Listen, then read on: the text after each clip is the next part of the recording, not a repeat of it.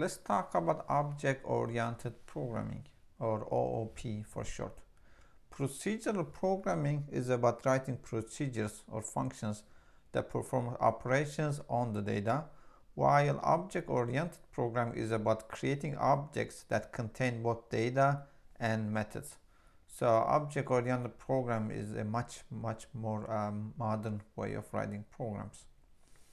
Object-oriented programming has several advantages over procedural programming. One, uh, OOP is faster and easier to execute.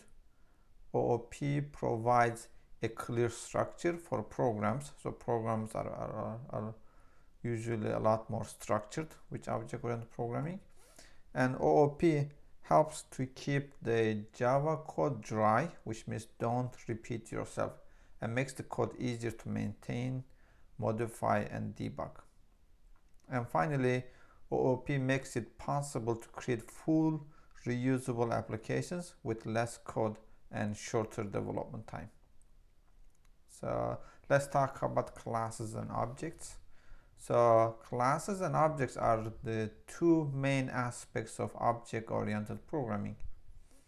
A class is a template for objects and an object is an instance of an example of a, of a class. When the individual objects are created, they inherit all the variables and methods from the class. So here's an example. So we have a class fruit, which is a general concept. It doesn't uh, refer to a specific one, but um, apple, orange, and raspberry are, are actual specific fruits. So that's why a class a fruit can be a class and the individual fruits uh, can be objects. So let's talk more about classes and their features. Uh, some of the things are gonna sound very um, theoretical, but when we do more examples, you're going the, these ideas will solidify further. So classes are templates or blueprints that specify how to build objects. Uh, well-designed classes group logically connected data with methods for acting on that data. A class is a logical abstraction. It does not it does not exist itself.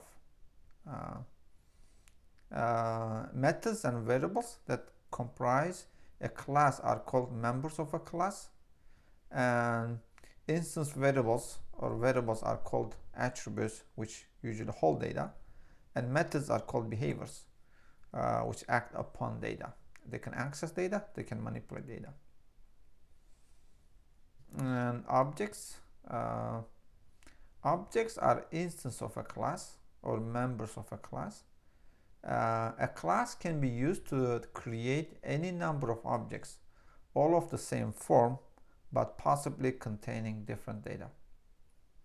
A class is a logical abstraction whereas an object is a physical representation of a class. When we say a physical representation, we, we usually refer to that uh, objects take up memory space in, when you run in your computer, whereas classes do not take memory space.